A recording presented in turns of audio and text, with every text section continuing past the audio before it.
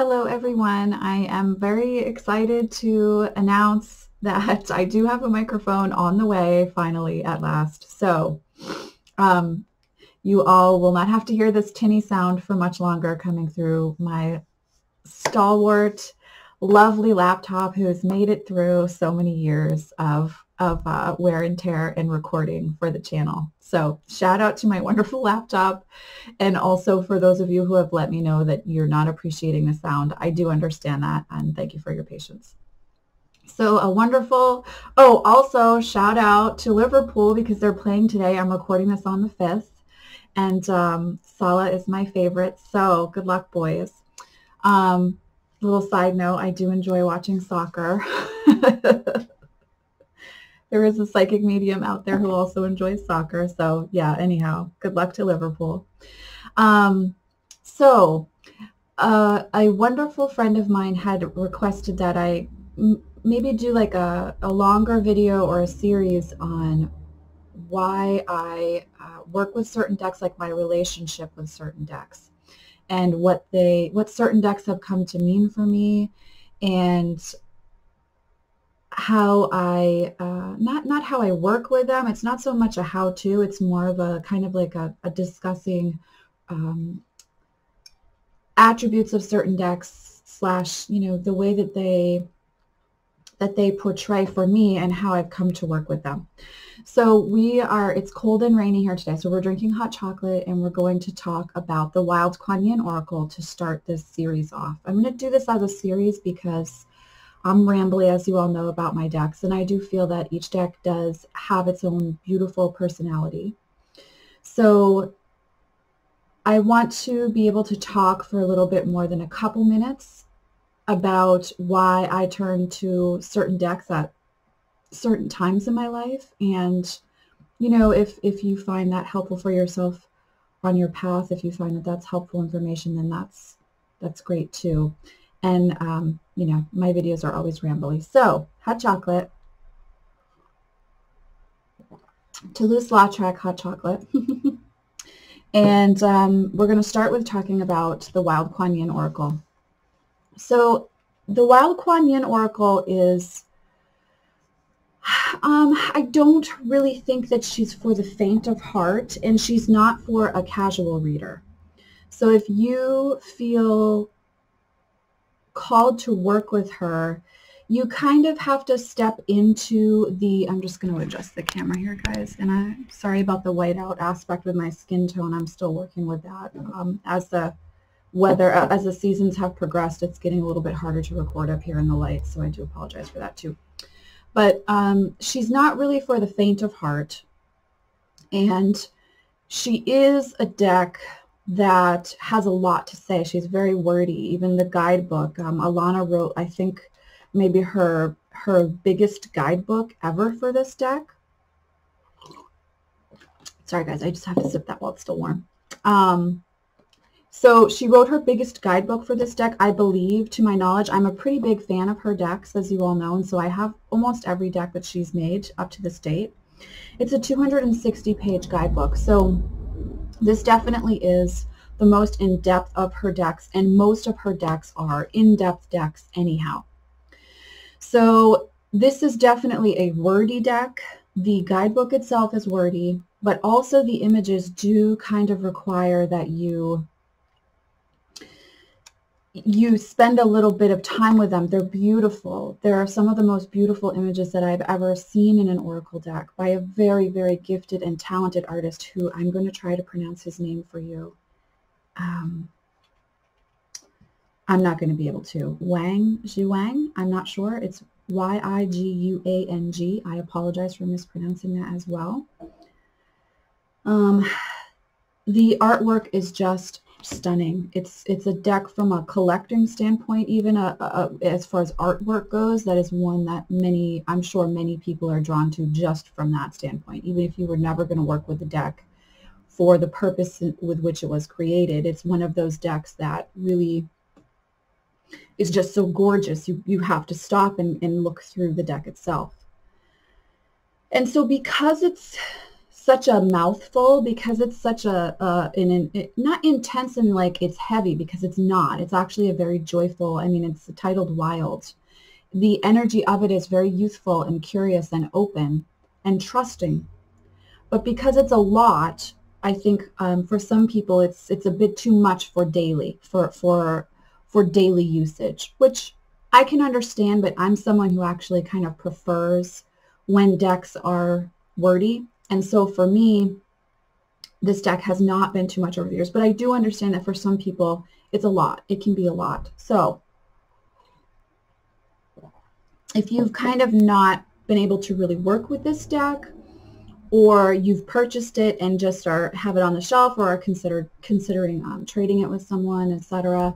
I do understand why that might come up for you, but I want to talk today about how much this deck means to me and and the the type of relationship I have with this deck and why over the years I've come back to her and why over the the you know the myriad moves I've had to make over the last few years she's a deck that I have not gifted or moved along to somebody else and then repurchased. This is actually my original copy of the Wild Kuan Yin Oracle.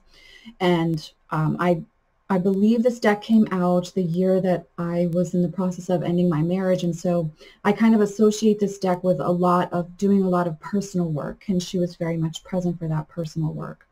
So when I turn to the Wild Kuan Yin Oracle, it's because I feel um, alone and perhaps scared, nervous. Um, I might be dealing with uh, depression coming up or something like that. And this deck is really one whose voice is so loving and so, but also curious and open and trusting and encourages me to trust.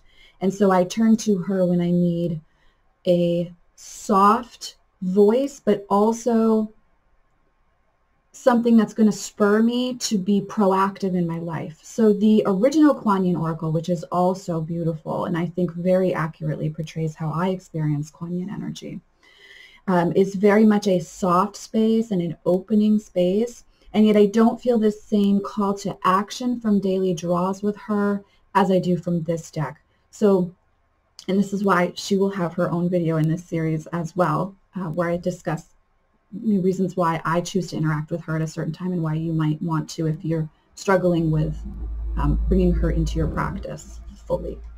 But this deck is a nurturing deck that prompts me at least to action. And so I will go to her when I need to really find my strength, push myself through my limits, and um, trust that everything is happening the way it is for a reason.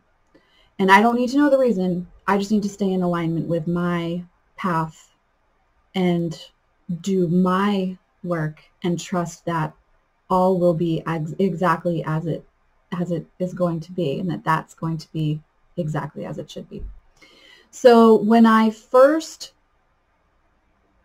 received or not received when I first purchased the Wild Kuan Oracle, um, I was struck by the backing. First of all, many of you may know that black and red are kind of like my colors, and the backing is striking. She's so she's this beautiful red with this gold illustration on her. Um, she's just absolutely gorgeous. She's stunning. It, it, but it's not again typically what I would think of as Kuan Yin, which would be soft pinks, soft greens, very gentle, kind of like a rose gold tone. And this is the box that the deck comes in, just so I've actually kept the box because I, I keep my Blue Angel boxes. They're, they're sturdy and they're great um, for traveling, etc. But um, it was a different portrayal of Kuan Yin than I had come up against in my personal practice of working with her. And so I definitely had a learning curve with this deck at first. I was like, mm, this really isn't how I experience Kuan Yin and yet it, it's the voice of the Divine Mother, I think, speaking with Kuan Yin in this very beautiful, irreverent way, which if we look at Kuan Yin's mythology, the archetype of Kuan Yin, we can see that it actually marries really beautifully with her energy and that irreverence being a powerful, like just gorgeous gift um, that to come to to come into a sacred union with as someone on a spiritual journey, it, it's really um, both clarifying and empowering, as well as just so encouraging of trust, to come back to trust, which can be really scary for a lot of us, especially those of us who have perhaps had, you know, difficulties in our lives that, that cause us to have a, a big fear about sharing and trusting. And so this deck really holds that space for me. Um, and I had to get over that learning curve. It was about like a, I would say a couple weeks where I was like, okay, I've got to like reframe how I view and feel about Kuan Yin and allow myself to see her, and I'm going to show you some of the images now, as this very young, curious, open, beautiful energy. Like you can see from the card images, they're just so stunning. And, and they really are irreverent, um, empowering, but soft still, curious, childlike. Um, you get this sense of connecting with the elements in a way that's not necessarily human. Like you don't have to be you don't have to be small in order to connect with them. I love this image. The pinks in person in this are just so gorgeous. And so it, for me, required a shift in how I was going to approach Kuan Yin,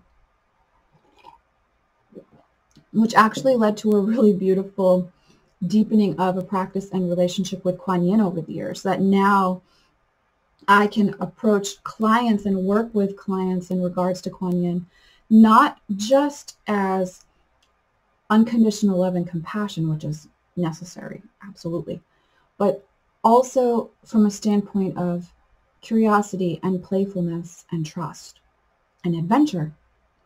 And that's brought more of a fully fleshed out view of her archetype for me, which allows for a more fully fleshed out view of myself as well. And will hopefully do so for you too. Um, I really would encourage you to read the guidebook with this deck and I primarily work with this deck just for personal work or for very pivotal times on my path.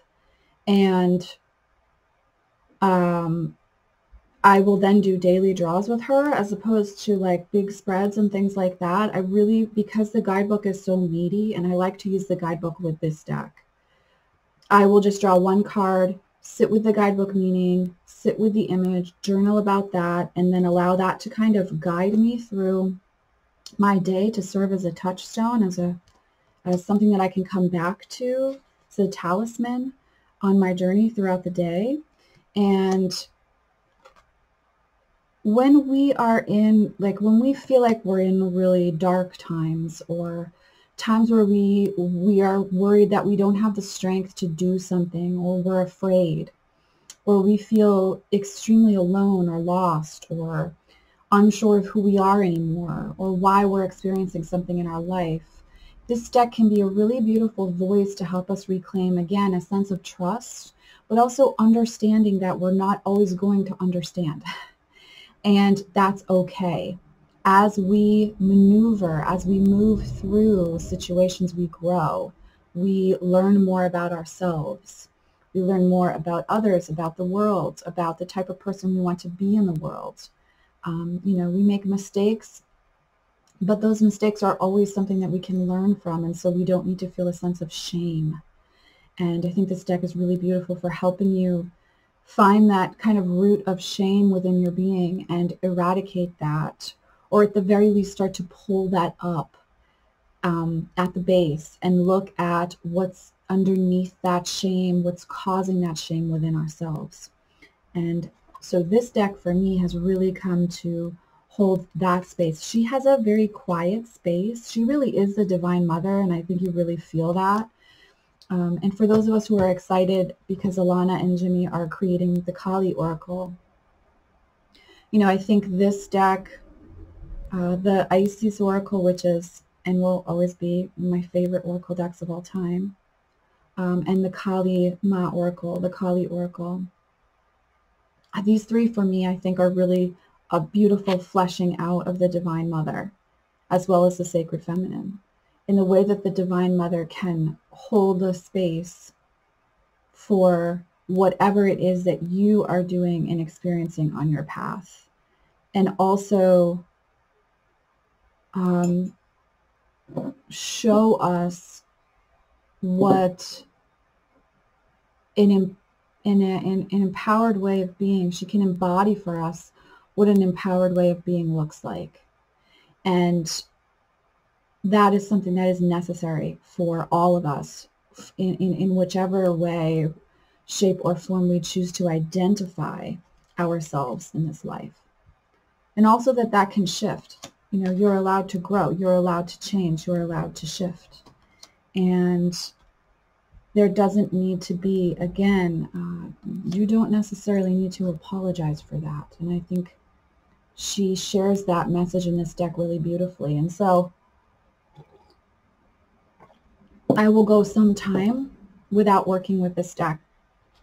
And then I will pull her out. I'll know, like I'll just feel it. It's it's time to work with her again.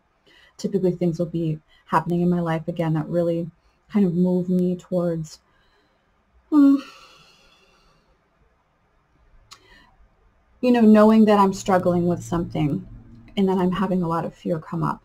And then when that happens, this deck is really very much a beautiful, oh, she, she's, she like calls me back home. And so then I will pull her out and I have this like almost overwhelming urge to cry when I connect with her in that way because she really does truly feel like a balm to my soul. And like, oh my gosh, I've, I've, I've forgotten this piece and now I'm coming back to it in this beautiful way with her. And that's really the wonderful thing about working with decks outside of divination, but also for personal growth on our spiritual paths and connection to deity on our paths. Um, they can really, really hold a powerful space for personal work that can be internal and no less effective in work that we can do with other people. And there are definitely times when we should work with other healers and therapists and, and people who can hold a space for us to do some deep shadow work.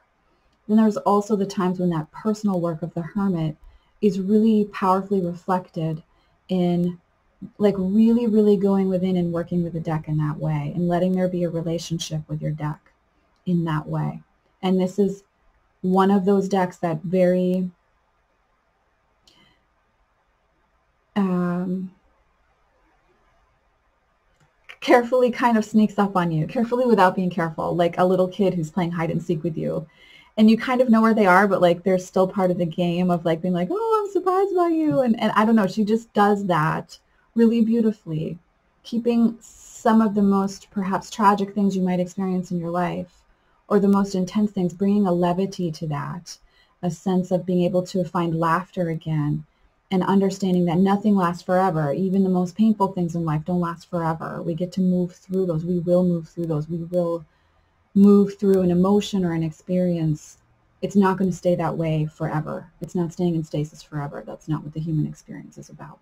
So this deck really beautifully holds that space for me in my life. And um, if you are someone who's wondering, you know, uh, do I purchase the Wild Kuan Oracle or I, I have purchased it, but I'm really struggling with it.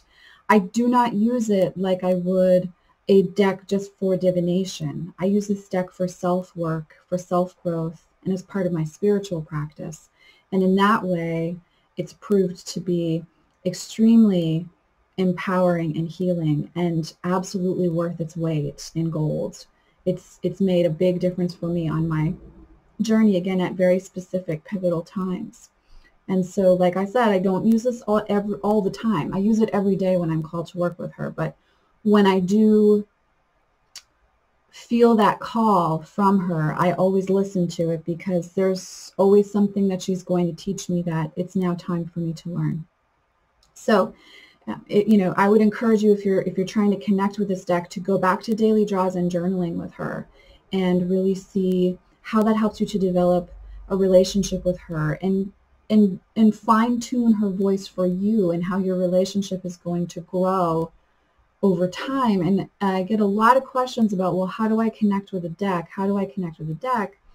How you connect with a deck is by viewing it as a relationship just as you would with a person, which means you get out what you put in. So the time and energy and attention that you give to that deck is what you get back in a lot of ways. And so if you, you know, you know, strictly militarily just working with a deck to, to, um, you know, use that for divination and understand something in the future, then it's going to feel very cut and dry. But if you're sharing a journey and really spending time with a deck in this way, as I've just discussed, then you see this relationship become fully fleshed. And then you do understand her voice, his voice, their voice, its voice, whatever you would like to, you know. I, I, some decks are male, some decks are female, some decks are they for me. Um, but it comes back to what you're going to put into the relationship. And so for me with the Wild Kuan Yin, there's been a really beautiful marriage that's happened over the years where I know exactly when I need her that she's going to let me know and that then we're going to spend time together and part of our work together is going to be learning about trust. And yeah, I feel really, really blessed that she's in my life and that Alana created this deck with the artist and channeled the messages for us that are so empowering and so loving. And yes, they are long card meanings for each one. You don't you're not going to read a paragraph and have it. It's going to be a couple pages, but if you can sit with those messages, there is something really beautiful that comes through as far as your spiritual journey and an understanding you can have about why you are going through certain things and how to access an openness to the experience through trust. So that is my um, personal experience with the Wild Kuan Yin Oracle thus far. And I'll be looking for more videos in this little series. And um, yeah, thank you all for watching. It's been, I don't know, it's like something about November kind of been like reviewing and it's been like a really, really long time that I've been making videos on here and it's, it's, uh, it's a blessing that, you know, that you guys watch. So thank you all. As always, I'm sending you much love and many blessings and I will see you in the next video. Bye.